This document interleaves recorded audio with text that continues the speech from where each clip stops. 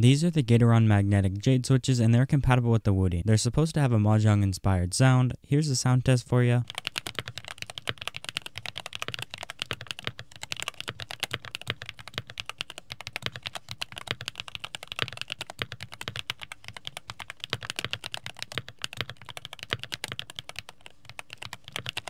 I personally do like them. Follow for more content like this. Bye.